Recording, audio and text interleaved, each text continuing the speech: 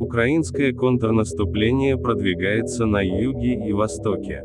СУ продвигаются по нескольким направлениям в западной части Херсонской области и захватили территорию за рекой Северский Донец в Донецкой области. Об этом говорится в отчете Института изучения войны.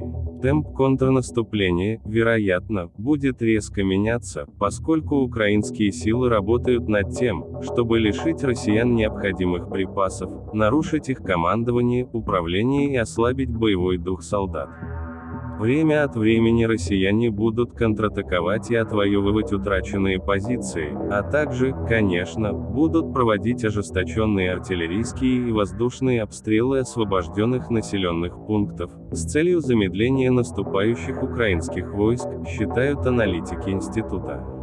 По их мнению, в СУ добились достаточно существенного прогресса, чтобы вызвать более реалистичные комментарии со стороны российских блогеров, которые уже встревоженно обсуждают последние события на фронте.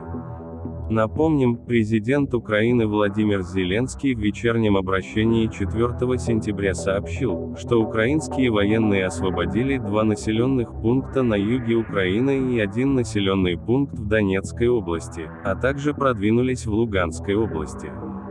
Больше новостей у нас на сайте. Спасибо за просмотр, лайк и подписку.